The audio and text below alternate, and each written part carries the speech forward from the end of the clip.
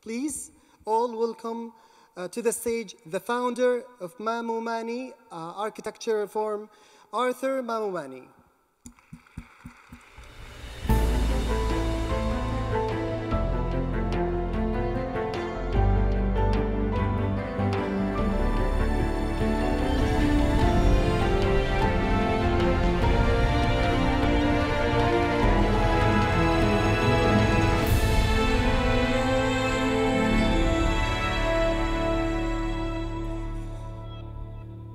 Hello. and thank you so much for having me here. It's, uh, it's so great after COVID to be in person somewhere. Uh, especially here, I'm impressed. The biomaterials, the woodwork, the 3D printing, the, the, the plastics, the recrushing, it's all the stuff I love. So I'm just so impressed to be here and in this amazing building. So I'm going to speak about eco-parametric architecture. Uh, but most importantly, I think I'm going to speak about a journey that we've done in the desert uh, with my students. Uh, I'm sure you've heard of Burning Man. It's in the US. It's another art festival, just like uh, Tanween. And we've built a big temple there. Um, and we were, or I hope we're going to go back this summer to build another structure. And there are 10 principles at Burning Man, and I'll let you know how they inspired my work and the work of our practice. So this is the Burning Man Temple Galaxia. Um, it's a lattice, and uh, we're very interested in these molecular essential structures um, that are inclusive, that attract people, and that help interaction with volunteers. I heard a lot of things today about uh, the power, the empowerment of making. Uh, I've heard about biomaterials um, and biomimetics, um, how to get inspired by nature. This is something we're building um, in Romania soon. It's actually the first time I show it. And it is the union of two of those temples together to form hope and time. Um, we're interested in systems, not forms, and it's really important to understand that difference. When you think about forms, you think about fixed things that come from your mind and are sort of imposed onto reality. And when you deal with parametric design, which is something I teach all the time, I realized that actually it's more important to let materials speak, to let geometry speak, to let the machine tell you what they want. Um, and it's something that's very kind of counterintuitive. You think that design is one thing and that making is something else. And so I founded two companies, one for architecture and design, Mamou Mani, and one for fabrication, which I called FabPub for Fabrication Public. And it, one was for radical expression, like expression of my own uh, artistic uh, desires, of course. But the other one was going to be the yin to the yang, uh, which would be completely open to public and empowering others to do that. And I thought this uh, distinction was very important so that I wouldn't be disconnected with the making and so that others could also be inspired by the work we would do. That complementarity is really important in our studio. Uh, this is our studio in London.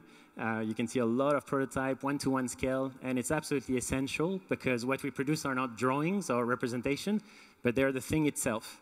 And that means there is no disconnect between what we conceive and what we end up with. And I think that's really important, and that is mostly thanks to uh, the technology that's all around you. So that technology, you see it as tech, but actually it's about empowerment. And I, I think that's a really important uh, distinction. Um, it also helps the planet in many ways that we're often not aware of. Uh, we can transfer files across uh, the planet uh, to machines that are locally available, and that's called distributed manufacturing. And then you can crush your material and use them again. I heard cradle to cradle today. Uh, this is exactly what this is about, the ability to reuse your material, uh, to repurpose them, and to recycle them, which are the three principles of the circular economy. So I heard about permanence, and there is often this contradiction between the idea of something durable that will last forever and something that should biodegrade. And I think it's really important we start thinking of our architecture as something that can be disassembled, not just assembled. Uh, I think we saw it plenty of time today uh, from the Japanese pavilion, etc. But uh, my office is in a container, a shipping container. And actually, we, when we're doing well economically, we grow, we have more containers. When we're not doing well, we ungrow.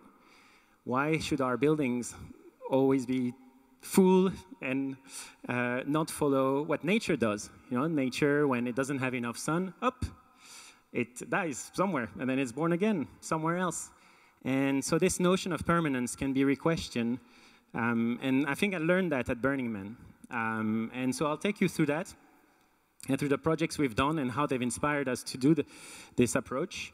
Uh, these are some of the uh, projects I do with the students. Um, I call it eco-parametric, of course, because parametric design is often about geometry and the environment is often ignored as one of the main parameters. And um, this idea of designing systems instead of form is really much about understanding um, reality to some extent and how to create uh, an architecture that emerges from our understanding of reality. And we're often disconnected to it. And that's because we don't necessarily, when we design, think that maybe wood can bend a certain amount of uh, curvature. And so we end up designing something and thinking, wood doesn't do that. And then, uh, and that's a problem. And so I really encourage you to go to a, a wood mill or um, talk to the craftsman and understand the limitation before even taking the pen and, and drawing anything. So this is, for example, um, um, a um, eco pod that we're doing in, in, in Mexico. And first thing is like, oh, what can the local wood do?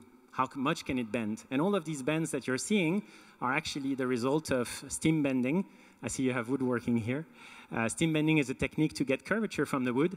So this, for example, if you unfold them, they're straight lines. And so how do you get curvature from straight line is something that I find fascinating.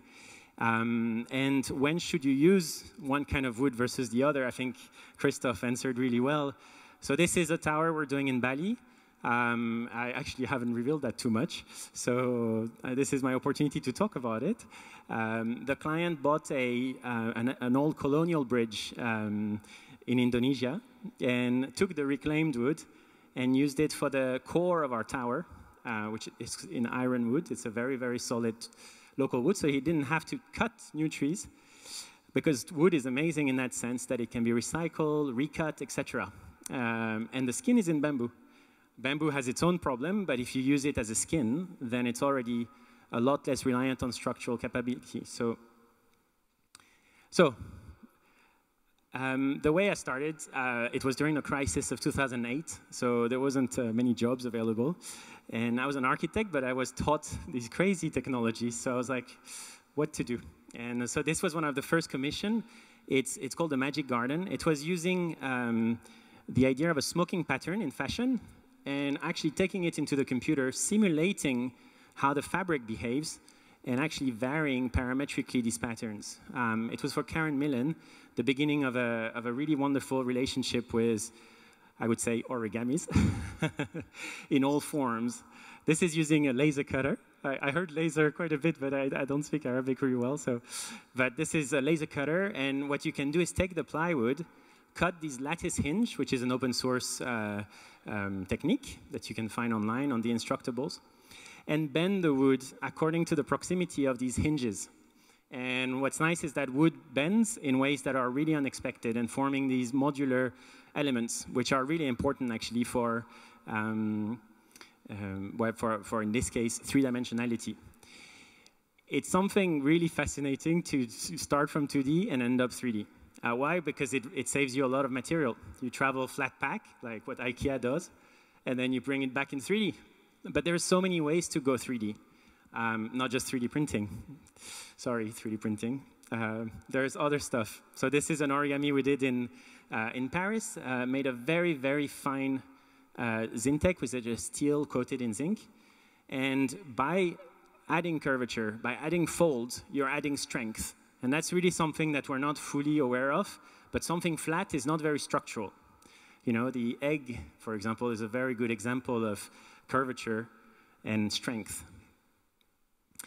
Um, so whilst I was developing architecture, um, I worked on a plugin for Grasshopper. I don't know if any of you uses Grasshopper. It's a great software for design. Silkworm is to have access to the language of the machine, which is G code, for general code. So the way it goes is you tell the computer to uh, go somewhere, and how much should you extrude of material as you go somewhere. So here's the machine, and, um, and so basically, when you speak the language of the machine directly, you can send the information, and therefore you can create patterns, and you can kind of play with the actual parameters of the printer. So you have direct access to what's going on. So this is uh, something that always uh, fascinated me is the material we use for printing, and you can go and see. It's called polylactic acid, and it's a plastic made from fermented sugar or any starches. And it's a fascinating material. We did a life cycle assessment. I think it's important to show you that because if we speak sustainability, the way we measure if something is better than something else is through plotting all these parameters, as you can see, and then comparing materials. So uh, PLA is roughly 80% less carbon than conventional plastics. And it's really important to know that um, because it's also stronger. There's obviously problems with it. It uses land. Um, but that's when we need to think of vertical farms. And, and so when you start seeing the bigger picture, it allows you to change maybe the infrastructure that's needed and to think a little bit larger than just the form, the projects, et cetera, et cetera. So these are projects we did using polylactic acid. This is in Fortnum and Mason in London. Uh, this is for my home. Um, this is a, um, a, a, pattern that I really love. And the modular uh, aspect of it means that we can print pieces of it and bring it together uh, little by little. This is a, a chandelier we're doing in Scotland, inspired by Gothic architecture. And this is a facade we're doing for a famous fashion brand that I cannot really reveal, um, all in clay, 3D printed in clay. So 3D printing, we've done it in all scale, and really, uh, maybe that's uh, one of the largest projects. And then I'll take you to Riyadh, where we actually uh, worked on a project using sand. So this is a project using PLA. It's for COS, the fashion brand. And it was really a, a kind of experiment in modular design on using a certain size that can fit in our largest pr printer and actually distribute it around local fabrication spaces and actually get it, uh, get it built on time. I heard you for the pavilion, you had about a month to, uh, to make it, uh, which was very tight. I, I, can see that. On the right, you see the project we did um, in, in Al Diriyah in Riyadh, which is made from uh, sand and furan, which is a resin. And so we started with a, a sort of large scale intention, and, um, and we realized the behavior of the material will never allow us to do that. Sand is really not good in tension, it's really good in compression. Um, but uh, we had a certain amount of time to print these, uh, these projects. So modularity comes in really handy. Um, in this case, we printed them in a sort of yin-yang fashion, so we could print two per batches. Um, and then we would assemble them on a very conventional basis made of plywood. Um, all these lines that you're seeing are going through our software, um, uh, not ours, but the software Karamba, which allows you to see the forces going through the project. And so it's really an expression of, um, of lines and forces, which I think 3D printing can be quite truthful about, because we don't need to mass produce or reproduce things on and on like the modernist movement used to do. So this was inspired by the Najdi architecture, the crenellation on the fort, um, and, um, and it's time to take you to the desert, another desert. this is Burning Man. Um, there are 10 principles which I find really fascinating. Radical inclusion, gifting, decommodification, self-reliance, self-expression. Maybe the one I want to emphasize is leaving no trace, um, because that's a strange concept. So it's a city in the desert. I don't know if any of you have, have had the chance to go there. They build it in a week, um, and then they unbuild it, and then it goes back to nothing. And so that means that every year we get to re-experience or recreate a new city. And um, this was the founder, Larry Harvey, and he said instead of doing art about the state of society, we do art that creates society around it. And this notion that there are you know, creative people, non-creative people, I hate it. uh, you know, we were, I don't know if it's something in French, like I was always told, oh, you're a creative kind, but there are the non-creative kind. And I, I hate that, as the, that idea because I think we're all creative. I think we all should be creative because that's how we can have an impact. And that city really breaks down that barrier. And so when we decided to take our students there, it's as much to create cool structures as it was to learn about the principles behind it. So this, for example, is made from off-the-shelf ply, and the idea was to create this reciprocal structure that could be made from uh, a minimum amount of waste. I'll skip through a few of the student project, and then I'll reach out to the temple that we've done, uh, Temple Galaxia. This was inspired by traditional muqarnas, uh, again, laser cut and assembled um, with lashing. And this is two projects that taught me a lot uh, before starting to submit some of my projects. This is the Infinity Tree and Bismuth Bivouac. You see, one of them is really cool and really complex, and it's got these crazy, uh, complicated nodes, and one is just this simple off-the-shelf timber. And why does it matter? Because uh, one was not symmetrical at all, and was just pure parametric ego in a way. Um, and the other one was just based on what you can find in the stores. And so you can see the, the, the, the trucks uh, here has really neat uh, elements. I love this picture because um, you know the truck is also part of the design. Like the truck is a designer in a way. Um, you see here, we see a lot of stacks of puzzle. Nothing was labeled the right way. We didn't finish on time this project, whereas the one on the right was neat, clean, was finished on time, and so on. So this taught us a lot about how we should understand parametric design, that it doesn't need to be all different, no symmetry, no um, logic related to the real world. Reality is so essential. So this is a circular saw and pieces of 2x4 timber, and we create tangen tangential dreams. Tangential dream was special because it had the dreams of people written onto their tangents. And so the community could interact with it. I heard a lot about community. And Burning Man has a special way of connecting people. This is the temple of Burning Man. And people write all kinds of beautiful messages on it every year. Um, and they build it together as, as a whole. And so it helps connect um, everyone together around a common construction. At the time, uh, I was working on a very special project. I was working on a hotel for the astronauts of Virgin Galactic before they go to space for space tourism. they needed a space to stay. And this is something I used to do at school. I don't know if you learn uh, coding at school, um, but this was, it's called uh, Logo.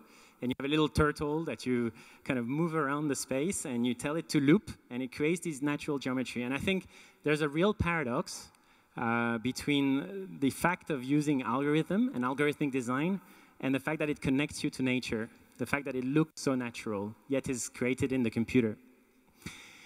So this was the hotel, and I thought this would be a nice temple. and that's when the journey of Galaxia started. So, of course, uh, a temple connects us to higher forces, and of course, our understanding of the universe is a little bit different now that we know there are black holes and the Milky Way and so on. And so this temple was a reflection of that understanding. Um, it's about 60 meters wide, 20 meters high, uh, and it was built by about 140 volunteers in about three weeks, maybe. Very, very, very hard endeavor. Very hard, but absolutely worth it.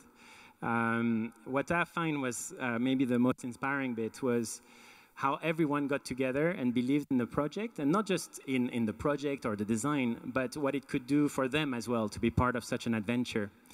And um, the project was, of course, we had to fundraise. As per Burning Man, we had to raise about, uh, I don't know, half a million dollars or something by ourselves. And so we had to engage, we had to make sure it was simple, we had to actually um, make sure that everyone understood how to build it.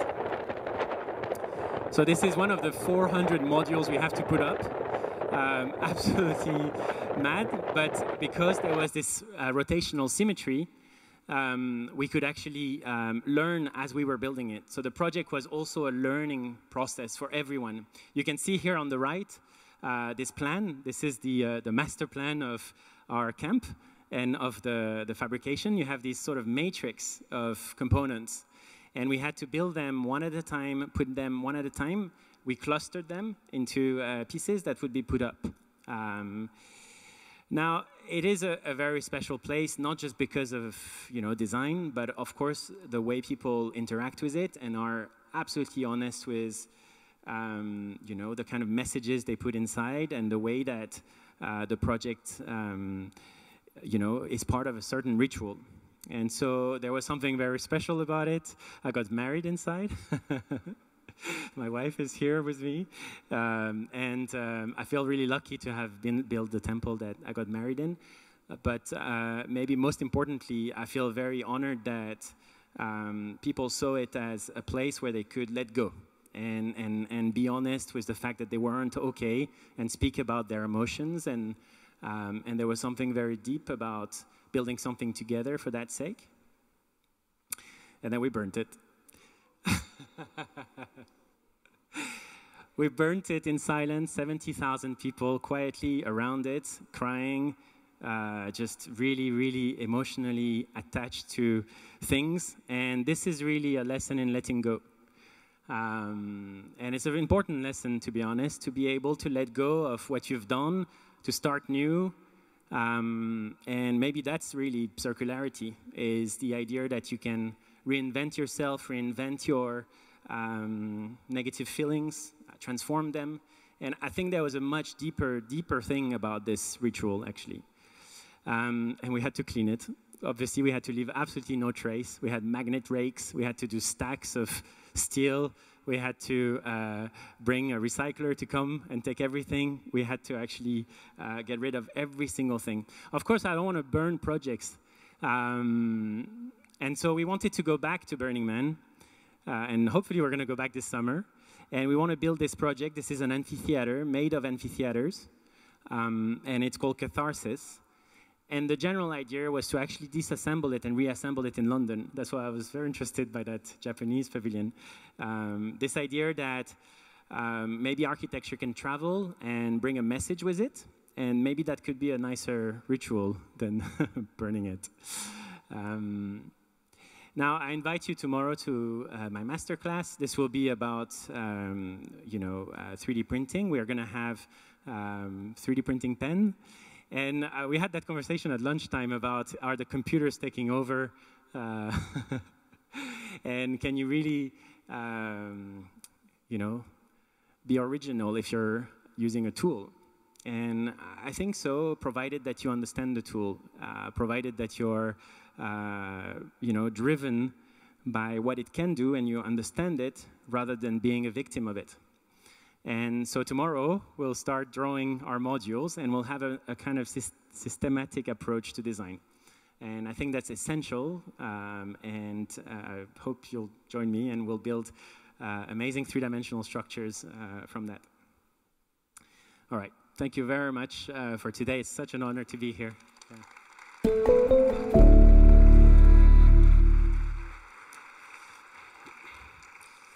Well, left us speechless, to be honest. It's just wow. What I witnessed is something actually, it's, it's amazing. You know why, uh, Mr. Arthur? I think you added a different dimension to just building things. Engaging the community around you to build things, that's something that's actually unique. And I, I really like it because everybody feels part of this amazing, you know, shape. And you made it, um, it looks complicated, but such an easy to build with the small aspects. So you added another layer of, of, education.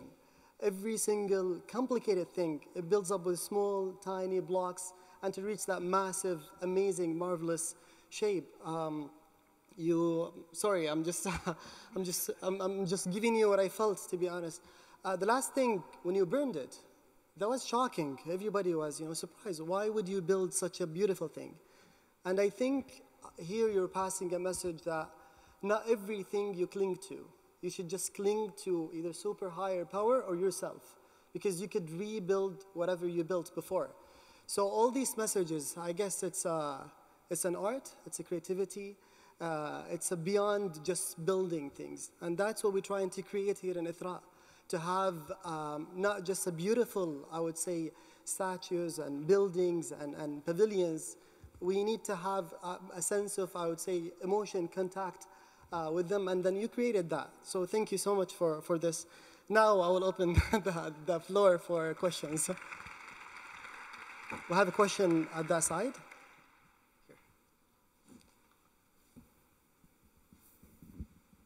Thank you very much for the amazing presentation. Uh, uh, first, I would uh, really want to appreciate the idea of community engagement and the innovation and the process itself. Uh, everything is amazing and uh, uh, the point of giving the message of let it go, it, was nice.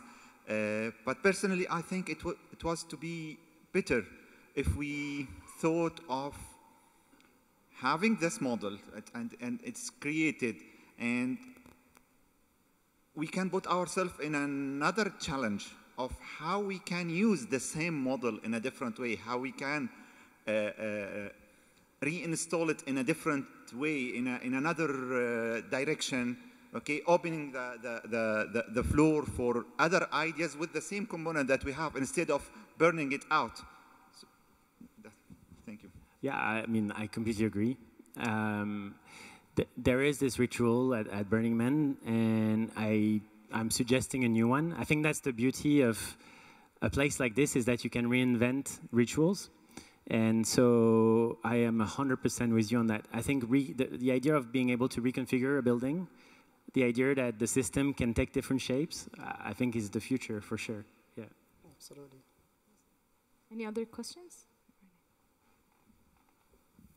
Welcome to Saudi Arabia. First of all, it's an honor to have you here. Thanks for Ithra. This is an amazing opportunity. Building with wood architecture and reassembling it and reassembling, how many times can you reuse the wood? I think it's absolutely endless. It's endless because we have, for example, our the oldest homes in uh, in the UK, the Tudors homes. Uh, you know, the Normans, the one that have like the traditional timber uh, triangles. They've been here the longest, and they were designed to be disassembled, um, and and yet they're just they're still there. I think wood has this amazing ability to just uh, last and actually be uh, kind of malleable. You know, you, you, you, can cut it, you can saw it. The, the, the bridge that we showed, I think is about 100 years old, the bridge that was in the water as well. And yet we took it out and we're about to build that tower from it. Um, so, I mean, provided it's not damaged, provided it's not rotting. I think the main problem with wood is, of course, if it starts doing these things. And so that's why people add these additives to it, uh, which could be a problem. But uh, essentially, it's a, it's a material that's, um, yeah, that, that has a kind of an endless cycle. Contrary to, for example, things like plastics or you know, I, I talk about uh, things like concrete. Like I'm still wondering how we can recycle concrete. Um, I know it's possible, but I'm very curious. I, uh, maybe it's a question. Sorry, I shouldn't be diverting the question. But but I, I'm, I'm I always think of of actually we had a great conversation about materials and which one to use where. And there's no universal solutions, really. We know concrete uh, creates uh, CO2. We know that uh, wood is a carbon sink. Uh, but you cannot use wood for dams and infrastructure, uh, for example. And so we were having a great conversation about what to use where, you know, what sort of scale and what is the scalability of what we can do from things. So there's a lot of critical thinking to be done. Uh, sorry, I went, I went on. It's, it's an amazing answer, actually. Um, we would like to take one more question, if anybody has any question. Side, side. Well, thank, oh, we got a question.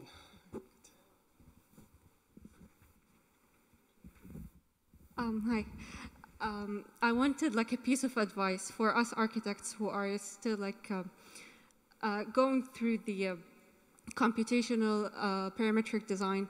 Where do you think is a good point to like stop interfering with the program and let the program do its work, or like I don't know, like interfere directly and uh, yeah. I, I, I, love the question, and I, I, think it's a it's hard, right? Because um, the more you understand how something works, the more you can trust it. And can we trust a, a machine, right? Can we trust a, a logic that is a little bit beyond us if we're not fully the inventor of it? And, and, and that is a big question. It's like uh, saying, how much should I reinvent the wheel in order to drive my car, you know? Um, and, uh, you know, I think it's, it's about uh, being able to observe and understand and ask questions. Like, when I was learning parametric tools, I asked so many questions. People were tired of me. Like, I was just going through a process of just asking, asking, asking until I felt like, yeah, this is possible. But the thing is, we are never alone in design. Like, you have the engineers, um, they guide you. You have the contractors, they guide you. Um, it's a dance between many, many craft and many, many knowledge. Uh, architecture is this, this huge um, ecosystem of, of skills. And, and, um, and so I think it's ultimately about listening. And, and then once you feel like you've understood, you can let go. But obviously, there's no there's no perfect answer to that because it all depends on the project. Uh, Well, thank you so much. Thank you so much for the inspiring talk. Uh, we, we, we're actually really happy to have you tonight. Uh, was actually enriching, you know, information. so much. And we would love to have you again. Thank It's you. great so pleasure. Much, Thank you Mr. so much for having me and, uh, and and congratulations. I mean, it's such a beautiful place. I I mean, I'm I'm we, we are we were in awe to see such a beautiful building. Like it's. Uh, We're glad. thank you. Thank you so much. Thank you so much. Thank you.